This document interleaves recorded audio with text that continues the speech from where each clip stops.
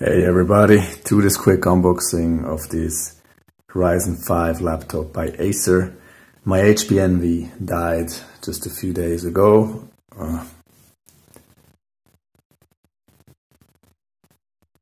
hi everybody, to this quick unboxing of this Ryzen 5 laptop by Acer. My HP Envy just died a few weeks ago, a few days after its warranty did expire, so I had a good reason or excuse to pick this up.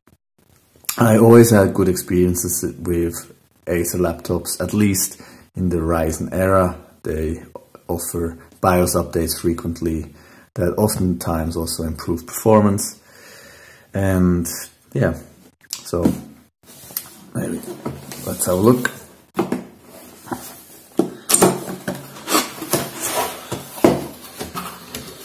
Whoops.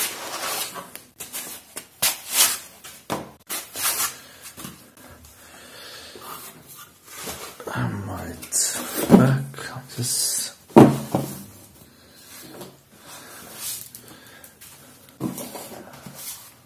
The laptop is not really slim, but that's not a problem. For me, that's even a good point because from the build, it means that it has plenty of air to breathe, to cool, and you can see it has a pretty fat heat pipe, well, especially compared to what I've seen in HP's Ryzen lineup.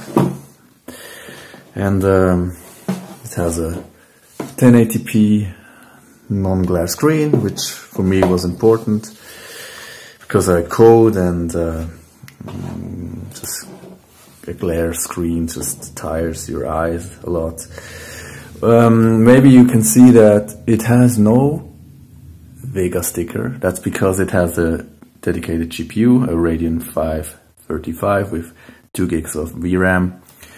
And uh, I can already hear people saying, hey, but why? It doesn't make sense. This GT GPU is probably much slower than Vega 8.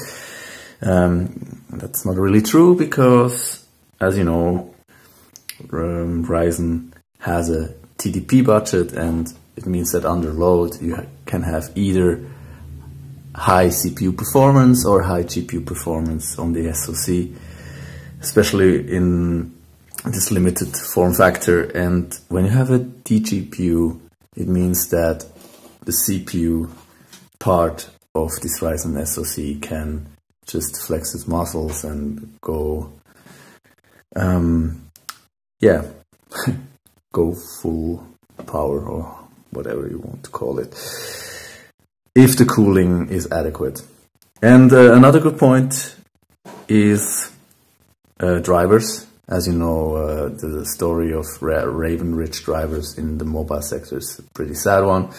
Um, in a few weeks or maybe days, I don't know, we will have uh, AMD announced they will uh, offer drivers. So this sad chapter will come to an end. But for the last year, to have a DG DGPU was a good thing because you were always able to download the latest drivers for your laptop and you had much less problems.